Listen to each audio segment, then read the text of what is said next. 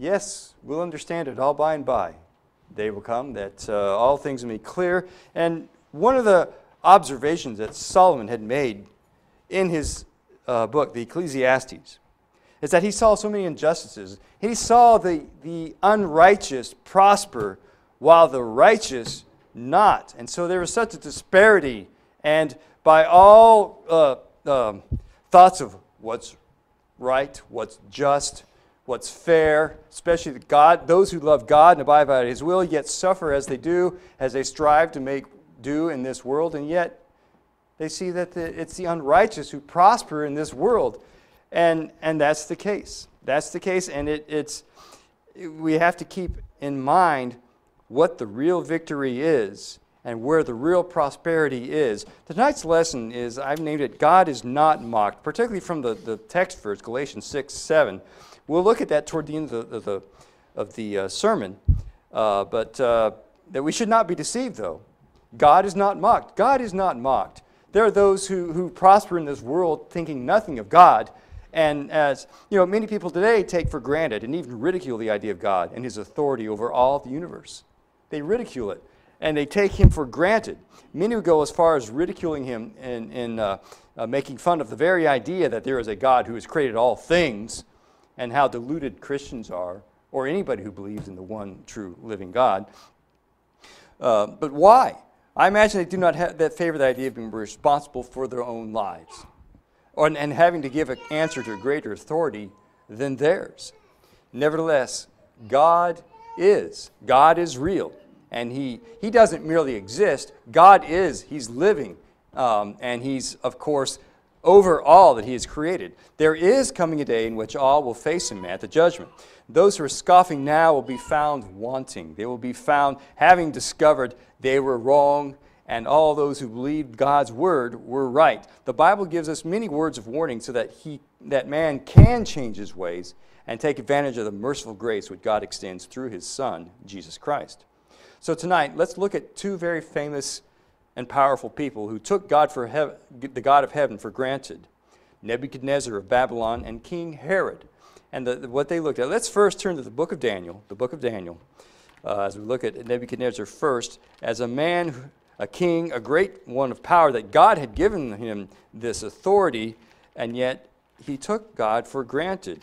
Um, as a matter of fact, we can remember in chapter 2 when uh, Nebuchadnezzar first introduced to Daniel's ability to interpret dreams, of course, coming from the Father in heaven, that he was able to interpret the dream for King Herod. And as, as he had uh, interpreted this dream for King, in fact, it's very interesting that God had used this Gentile king to teach, to prophesy, to reveal to us God's plan to set up a kingdom in the latter days, during the days of the fourth kingdom after, after Herod, actually the third kingdom after Herod.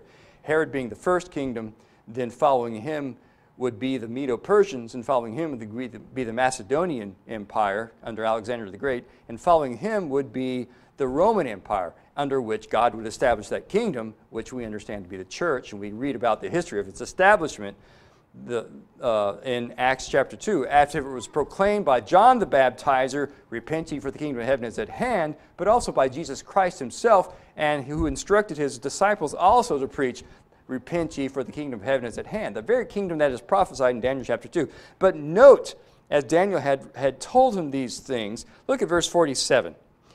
The king answered unto Daniel and said, Of a truth it is that your God is a God of gods, and a Lord of kings, and a revealer of secrets, seeing thou couldst reveal this secret, this dream that he had just had. Then the king made Daniel a great man, and gave him many great gifts, and made him ruler over the whole province of Babylon, and chief of the governors over all the wise men of Babylon. Then Daniel requested the king, and he set Shadrach, Meshach, and Abednego over the affairs of the province of Babylon but Daniel sat in the gate of the king. So the king Nebuchadnezzar recognized that Daniel, being able to interpret him, had received this wisdom from God, the, the true God, and he made Daniel, of course, with great responsibility. So it's very interesting that in this dream, none of his wise men could interpret the dream. He appeals to Daniel, Belteshazzar, to interpret it. As we look in Daniel chapter 4, where, where in particular, where Nebuchadnezzar uh, pretty much neglects God to recognize him as the one the true God. Uh, you know, that's just it. Nebuchadnezzar knew in his mind that Daniel was the spokesman, as it were, that, that, that Daniel has been, God has revealed secrets to, to Daniel, through, through Daniel. And as we see in, in, in chapter 4, that Nebuchadnezzar has another dream. And his, none of his wise men, just as the first dream, none of his wise men could tell him the dream or interpret it. So it was here that none of his wise men could even interpret this dream. So he turns to Daniel, who his, his, uh, his Chaldean name was uh, Belt, Belteshazzar, in, in honor of the, uh, the uh, uh, Chaldean gods. Okay, and, and so he turned to him to, to interpret this dream. As we begin in verse 18, looking at this, this dream I keep, this is where Daniel interprets the dream. We'll be doing some significant reading because I can't improve upon the, the, the text. I can't improve upon God's word. So as we read this, let's, it will reveal to us the situation. And so this dream I, King Nebuchadnezzar, have seen. Now thou, O Belteshazzar, declare the interpretation thereof, for as much as all the wise men of my kingdom were not able to make known unto me the interpretation, but thou art able, and for the spirit of the holy gods is in thee. Then Daniel, whose name was Belteshazzar, was astonied for one hour, and his thoughts troubled him. The king spake and said, Belteshazzar, let not the dream or the interpretation thereof trouble thee. Belteshazzar answered and said, My lord, the dream be to them that hate thee, and the interpretation thereof to thine enemies. In other words, this is not good for you, Nebuchadnezzar. It's, it's rather good for your enemies. Okay. The tree that thou sawest, which grew and was strong, whose height reached into the heaven, and the sight thereof to all the earth, whose leaves were fair, and the fruit thereof much, and in it was meat for all, under which the beasts of the field, field dwelt, and upon whose branches the fowls of the heaven had their habitation. It is thou, O king, that art grown and become strong. For thy greatness is grown and reacheth unto heaven, and thy dominion to the end of the earth. So the kingdom that Nebuchadnezzar was, was put over, the kingdom of Babylon, there was a great, it was the greatest empire of the day and God working through this empire, doing his will, um, particularly, yes, yes, the, the, the kingdom of Babylon had invaded the southern kingdom of Judah, had laid waste to them, laid waste to their temple, taken away the brightest and best of, of uh, the nation of Israel, um, the, the kingdom of Judah, and to serve in his own kingdom. And uh, yes, it was fulfilling God's purpose, considering that it was Israel had, had, that had turned its back upon God and turned to idols. And so God allowed to happen to them what had, they had promised through Moses that if they turned to idols, that God would allow them to be taken off the earth. So, yes, Nebuchadnezzar's kingdom of Babylon was serving God's purpose in punishing Israel, that is, punishing Judah, for their sins against God. Now, in addition to this, I, we see God working through Daniel to reveal so many rich things of him prophesying of the kingdom that God would establish the church. But also here, we see an example of, of those who would uh, take God for granted, not respect or understand the blessing. So, so God, understand that civil governments are approved of God. They are authorized by God. God put, uh, allowed them to put in, be put in place for our benefit to reward the doers of good and punish the evildoers. Okay, so Nebuchadnezzar was a, was a part of that plan of God, and as God had allowed his kingdom to, to thrive and to flourish, and that's exactly what we see in this dream. Okay. Um, as Daniel had said in verse 22, It is thou, O king, thou that, that art grown and become strong, for thy greatness is grown and reacheth unto heaven, and thy dominion to the end of the earth. And whereas the king saw a watcher and holy one coming down from heaven and saying, Hew the tree down. Now, this watcher refers to angelic beings who come and is so, uh, saying to hew this tree down, which was Nebuchadnezzar. This tree represented Nebuchadnezzar in his dream. Hew the tree down and destroy it, yet leave the stump of, of the roots thereof in the earth, even with a band of iron and brass, in the tender grass of the field, and let it be wet with the dew of heaven, and let his portion be, be with the beasts of the field, till seven times pass over him. Now, so we see that this is a very figurative dream. Just as the, the dream, first dream that, that Daniel interpreted in Acts chapter, or rather Daniel chapter 2, that it was very figurative, but Daniel interpreted it uh, as, as God gave him the wisdom. So this also is very figurative. And so as Daniel gives the interpretation here in verse 24, this is the interpretation, O king, and this is the, the decree of the Most High, which has come upon my Lord, the king. Notice the, the, the uh, uh, respect that Daniel gives this king of this great empire that was due him as he calls him Lord the, his Lord the King. He was in the king's service at his gates, in his, in his courts. Okay? But he's talking about the Most High, of course, which is the God of heaven. In verse 25, that they shall drive thee from men, and thy dwelling shall be with the beasts of the field, and they shall make thee to eat grass as oxen, and they shall wet thee with the dew of heaven, and seven times shall pass over thee, till thou know that the Most High ruleth in the kingdom of men, and giveth it to whomsoever he will. It's showing the sovereignty of God and his absolute authority over all things, including the governments of men. Um, and, and so in verse 26, and whereas thy commanded, uh, they commanded to leave the stump of the tree roots, thy kingdom shall be sure unto thee. After that thou shalt have known that the leaves do, or the he- that, that the heavens do rule.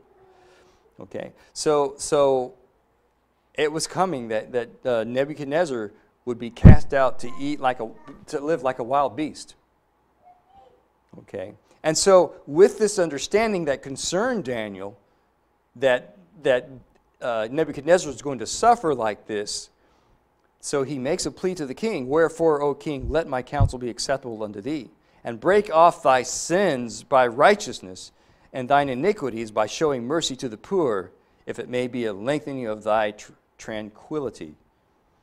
So the plea was change your ways, change your life, be right with God. And isn't that the, the request, the plea today of the gospel message to all men to, to, to uh, plead with Him to turn from their evil ways, from their sinful ways, turn to God, that perhaps they might find, might find forgiveness of sins if they uh, um, if they do exactly what the commandments say, what Jesus Christ commanded, what the Peter commanded in Acts chapter 2, what they should do in order to find forgiveness of sins. And so it was that perhaps the lengthening of thy tranquility. So in verse 28, all this came upon the king Nebuchadnezzar. It, that was pretty simple. All this happened. So how did it come to be? And at the end of 12 months, a year had passed, he walked in the palace of the kingdom of Babylon. Notice what he says here in verse 30. The king spake and said, is not this great Babylon that I have built for the house of the kingdom by the might of my power and for the honor of my majesty? He's sort of gloating here, boastful. Said, Look what I have done, these great and marvelous works to great, create this great city and this great kingdom. Look what I have done, forgetting what Daniel had told him about, that God had allowed him and put him in this place, allowed him to flourish. Well, look in verse 31. While the word was in his king's mouth, there fell a voice from heaven saying, O King Nebuchadnezzar, to thee it is spoken, the kingdom is departed from thee. And they shall drive thee from men, and thy dwelling shall be with the beasts of the field. They shall make thee to eat grass as oxen, and seven times shall pass over thee, until thou know that the Most High ruleth in the kingdom of men, and giveth it to whomsoever he will. Now, it, it's interesting to note that this seven times shall pass over him. It's not clear if it means seven years. If it were seven months, it probably would have been uh, declared. But this seven, period, seven, uh, seven times, it's not clear. We look at the, the, the number seven, what it might represent. We, you know, we can go to uh, the prophecies, particularly in the book of Revelation, where n- numbers have specific meanings. In this case, the number seven represents the perfect number. You, you, take the number four, the number three. The three is the perfect uh, divine number. You think of the Trinity and such. The four is the perfect earthly or uh, uh, yeah, earthly number. You put them together, you get the perfect fullness number. You look at the number 666. You've heard that a lot, right? From the book of Revelation, talk about the mark of the beast is 666. That's three times six, or six repeated three times, or repeated twice, but but the idea being that seven is the perfect number, six is less than perfect. Six is the counterfeit. Six is the fake. And three times that, it's the perfect counterfeit.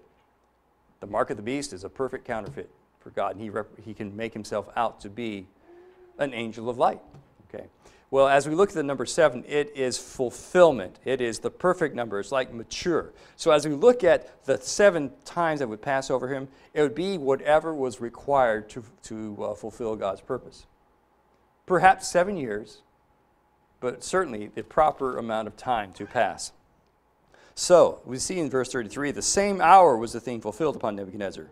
And he was driven from men, and did eat grass as oxen, and his body was wet with the dew of heaven, till his hairs were grown like eagle's feathers, and his nails like birds' claws.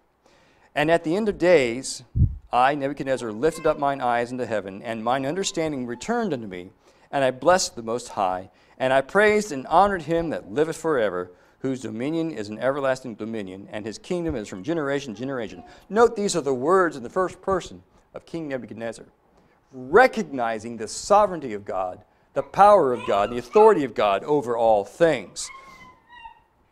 And all the inhabitants of the earth are reputed as nothing, and he doeth according to his, his will in the army of heaven and among the inhabitants of the earth, and none can say his hand, or say, none can stay his hand, or say unto him, what doest thou? Who are we to question God? That's pretty much what, what uh, Nebuchadnezzar was saying. He recognized the authority based upon what happened to him. He had no control over it, and he recognized it. And so he gives credit to God that he will do what he will. None can impede him, none can prohibit him, and none can question him. Verse 36 At the same time my reason returned unto me, and for the glory of my kingdom mine honor and brightness returned unto me. And my counselors and my lords sought unto me, and I was established in my kingdom, and excellent majesty was added unto me. Now I, Nebuchadnezzar, praise and extol and honor the King of heaven, all whose works are truth, and his ways judgment. And those that walk in pride he is able to abase. Who would know better than Nebuchadnezzar? Those who walk in pride, he is able to abase, bring to naught, bring low. And, and we must understand is that our own legislators and executives and our own, all in the, the various branches of our government, if they would recognize the lesson that Nebuchadnezzar had learned, how, how things could be that we would honor God, glorify Him, uh, and, and uh, just as, as it had been in the past, where we would glorify God instead of malign Him, I think that many things would turn around, many blessings would happen. As we look at the events in the history in the, in the, in the Old Testament, that about those who, who uh, in, tried to uh, uh, resist God and the results, and then you look at those who align themselves with the will of God and the blessings that came from it, it, it, it, uh, it stands to follow that if we followed suit like those, like Nebuchadnezzar, we would perhaps find many rich blessings in our glorifying God. That's not salvation, though. Don't confuse that with salvation that is found only in Christ as we consider the, the gospel plan of salvation, wherein one finds forgiveness of his sins. Now, that's one example where uh, we see that God is not going to be taken for granted, maligned, or mocked. Okay. Next would be a very short example King Herod in Acts chapter 12. Very short example um, we see here. Acts chapter 12. In fact, it's only three verses long. There's a lot that could be told about this, but for our purposes tonight, we'll just look at these three verses and, and learn for the lesson from it. So as you see in, in uh, Acts 12, verse 21, beginning. And upon a set day, Herod, arrayed in royal apparel, sat upon his throne and made an oration unto them. So he, he made a speech. He made a, apparently an eloquent speech, an oration. He, and as it was, he was set in his royal garments, you know, and, and uh, all, I suppose, the pomp and, and circumstance all surrounding this. And as he made this oration, what happened? And the people gave a shout, saying, It is the voice of a God and not of a man. They were impressed with his speech. Um, you know, we've, we've heard various uh, orators, speakers that have uh, uh, an ability to move many crowds, to move them to, to action, to move them to uh, understand and appreciate whatever he's speaking upon, the eloquence of the words that he would use, the, the phraseology to, to help us to appreciate his purpose. And so I, I perceive that Herod also, uh, a great orator, that, and as he spoke, very well impressed them, as they would say, the voice of a God. And so it was, they were lifting him up very high upon a very tall pedestal. But look what, what he did. As, as this was, well, rather, I should say, what happened because, because of what happened. And immediately the angel of the Lord smote him because he gave not God the glory. And he was eaten of worms and gave up the ghost. But the word of God grew and multiplied. So, as what was the, the accusation against Herod? Well, he, he didn't give God the glory. He was taking glory that, des- that God deserved. Okay, and so we can see that uh, uh, certainly it wasn't mocking God, but it was standing in a place where God should stand. That men have no right to take this glory and this honor, not to say that he didn't speak well. Obviously, he did speak well, but he took the credit of himself as having the voice of a God, as it were, instead of giving God the glory for the gifts that he had. Um, Consider in the latter days the promise of, of the coming of Christ. You know, they're talking about scoffers. This is not exactly mocking God, but this is in the same level. In, as we think about how people were going to be, in fact, are today, I'd like you to turn to 2 Peter chapter 3. 2 Peter chapter 3. That uh, along the same lines, about the kind of, of people it would be who would re- reject or neglect the. Uh, the authority of God, the, uh, the, the uh, greatness of God, and, and uh, well, if you're familiar with um, secular humanism, you're well aware that uh, that involves rejecting the very idea of God and that we establish what's right and wrong. That we as mankind have this authority to make this, uh, to establish and, and uh, to establish that what is right and what is wrong, that we can say this is right, but this is a sin. We won't use the word sin. We'll just use this is not good for us or right or wrong, okay? And so with the secular humanism, man puts himself upon that pedestal. He worships himself, basically. As we think about those who reject God and his sovereignty, his authority, we, I'd like to look at this, uh, 2 Peter 3, and I, I put it a, uh, as a close, relevant um, passage regarding it. 2 Peter 3, beginning in verse 1.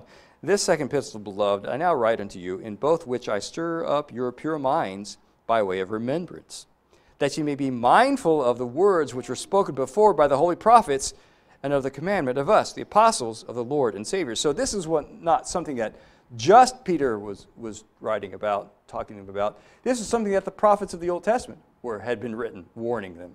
And it was something that also not he himself, uh, an apostle of Christ, but also all the other apostles that were saying the same thing. All his, uh, um, all those who were uh, concurrent with him. Okay, um, we've seen uh, in verse three, knowing this first, that there shall come in the last days scoffers walking after their own lusts. This last days there is so much, so much misunderstanding about this use of the word last days.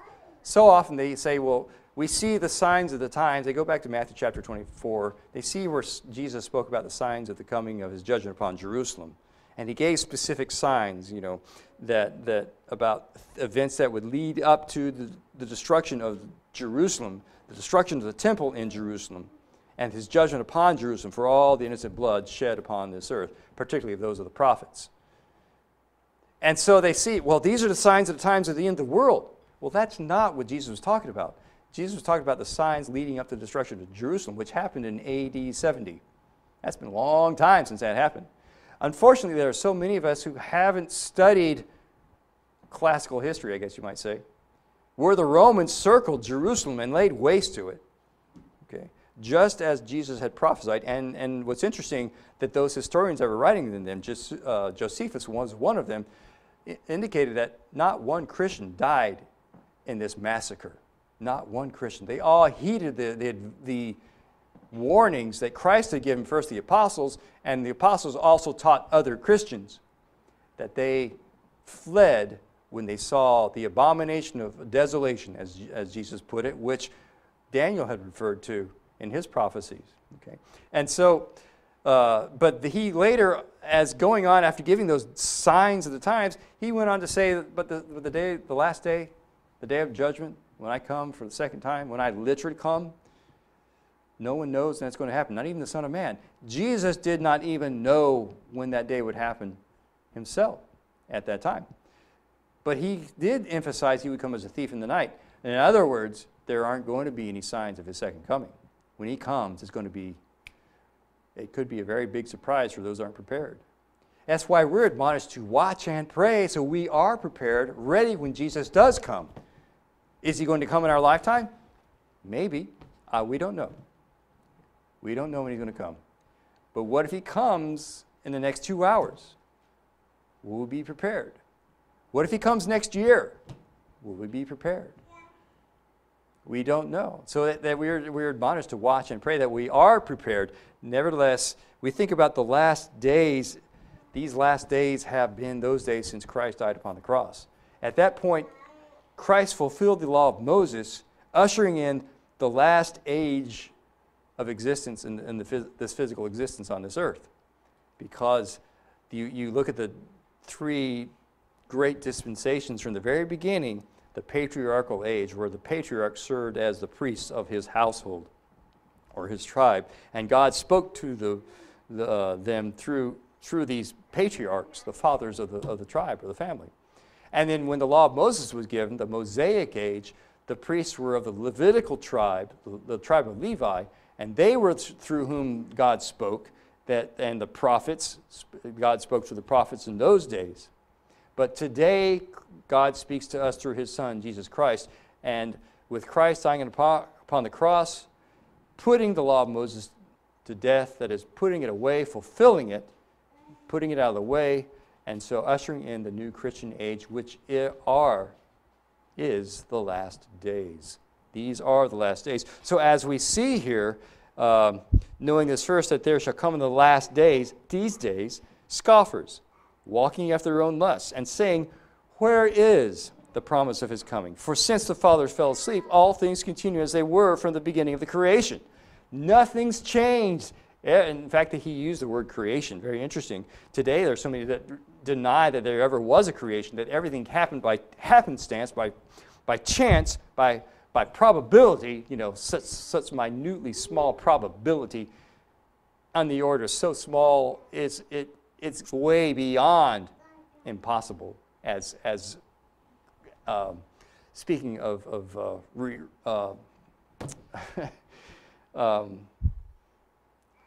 reality, you know, real probability. Uh, it's the order of it is very small. But he uses the term since creation, and so even those in those days, even his Jews, Jewish friends, they say everything's happening just like it was from the creation.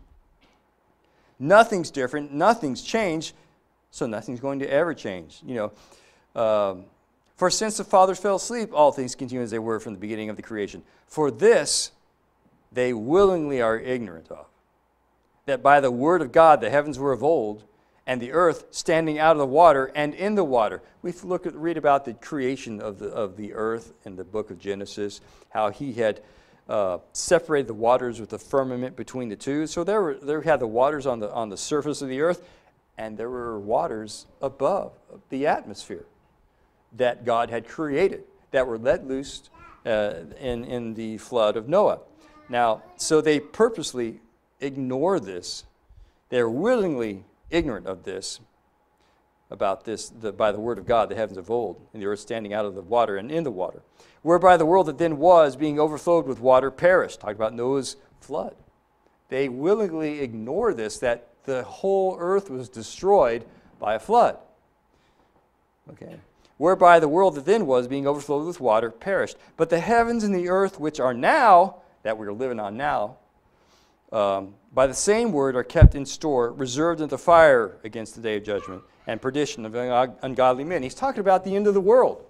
That when the judgment comes, everything will be burnt up with fervent heat. Nothing will remain. All the great works that we, we imagine we have done will perish. The great pyramids in, of Egypt. All the, all the, the wonders of the, of the world that there are will perish. And none of the great works that we have done as, as, a, as a creation of God ha, that, will, that will last. Verse 7 But the heavens and the earth that which are now by the same word are kept in store, reserved to fire against the day of judgment. Verse 8 But beloved, be not ignorant as of this one thing, that one day is with the Lord as a thousand years, and a thousand years is one day. So God is not on the same time schedule as man is. As a matter of fact, time is, is relatively inexp- uh, uh, ir- relatively irrelevant to God in the sense that uh, time, as we measure it, is insignificant to Him. Whereas we see a lifetime as 70 or 80 years, to Him, that's just a small speck of existence.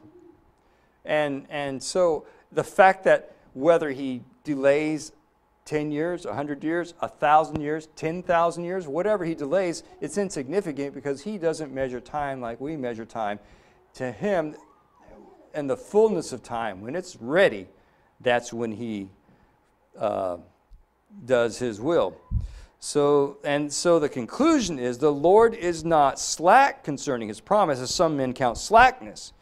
He's not a slacker. He's not lazy. He's not a um, uh, one who puts things off. Okay, but is long suffering to usward. That's the goodness of God. He's putting up with us. He's long suffering, allowing us to continue. Why? Not willing that any should perish, but that all should come to repentance. That's the desire of God that we should all come to repentance, appeal to Him for forgiveness of sins. And he goes into verse 10 But the day of the Lord will come as a thief in the night, in which the, which the heavens shall pass away with a great noise, and the elements shall melt with fervent heat. The earth also and the works that are therein shall be burned up. It's going to happen. It's a reality.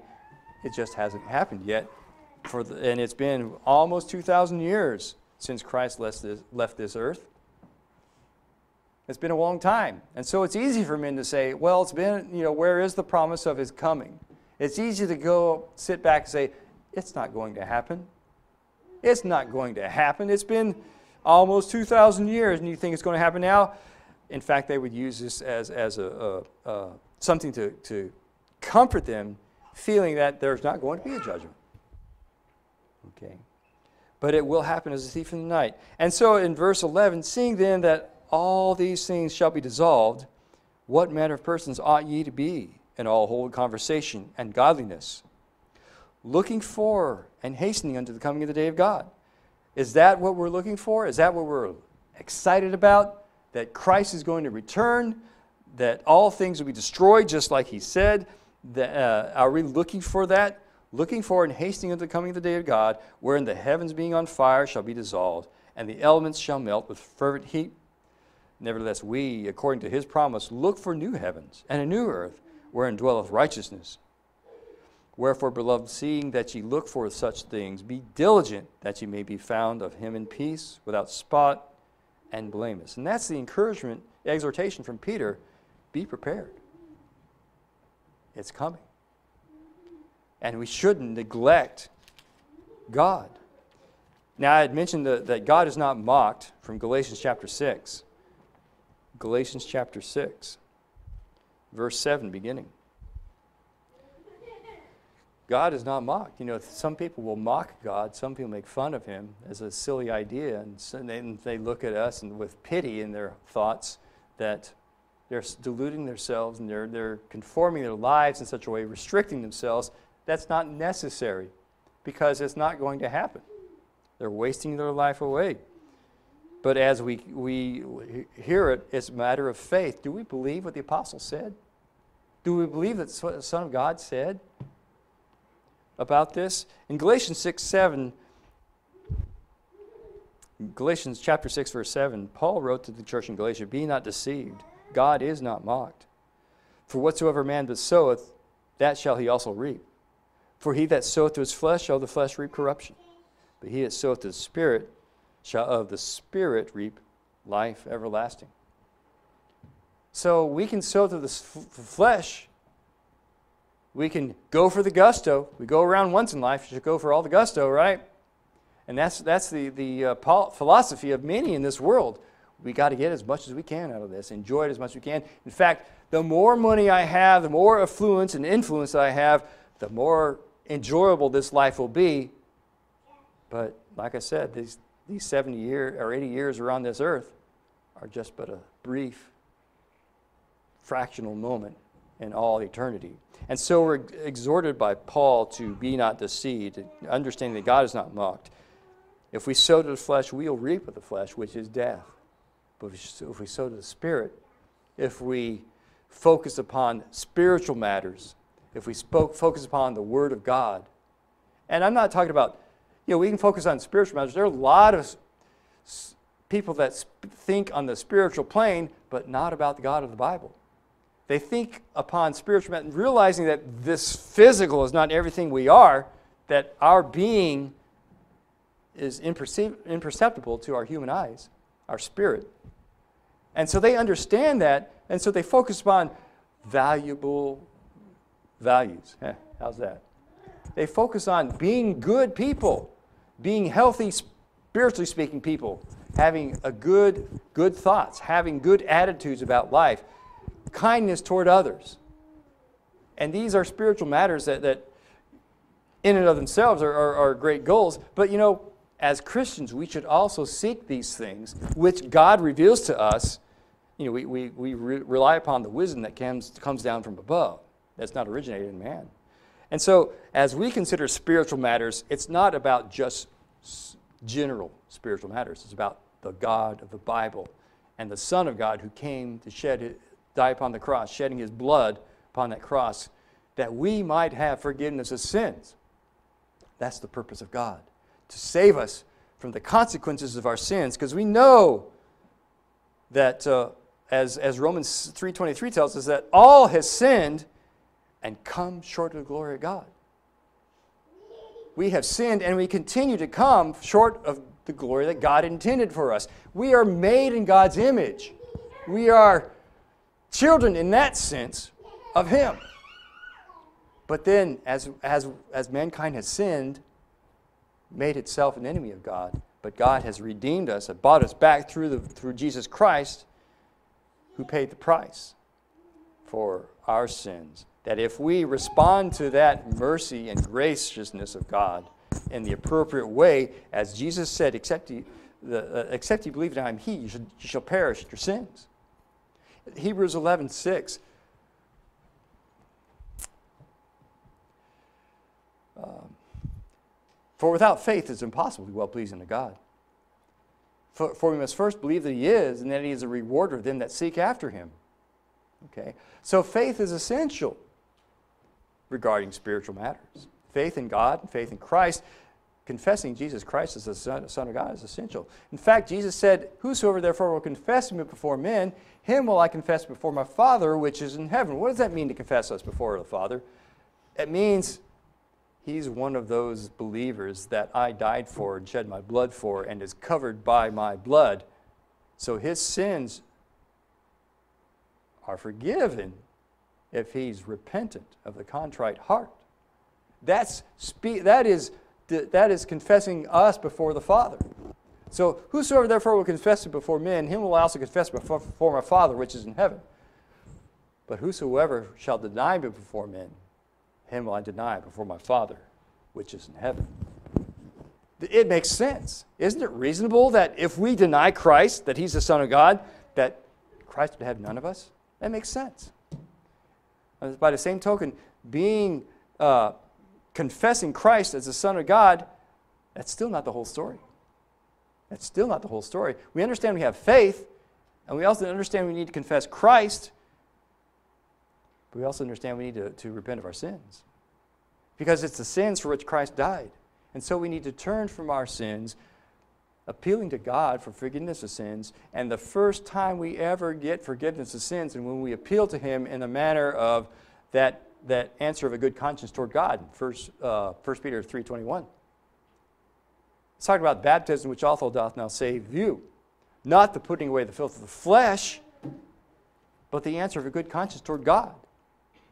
One who has a good conscience toward God, his appealing to God for forgiveness of sins, the right answer is being baptized for remission of sins.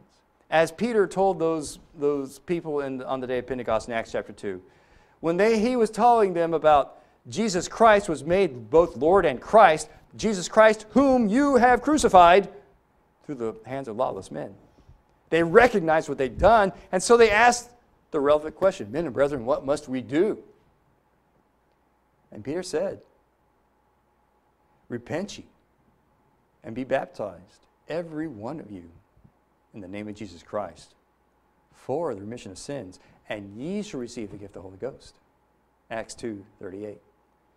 So we see, we look at all these things that we need to do to be saved, to find forgiveness of sins, put them together, and we realize we have to have faith in God, in Christ. We have to confess Jesus Christ as the Son of God. We need to repent of our sins and be baptized for the remission of our sins. And then, as is revealed for us in Acts uh, chapter 2, that the Lord adds those who have obeyed that, who've done that, to his body, the church. As he said, verse 47, that uh, the Lord added daily those that should be saved. Added daily to the church those that should be saved.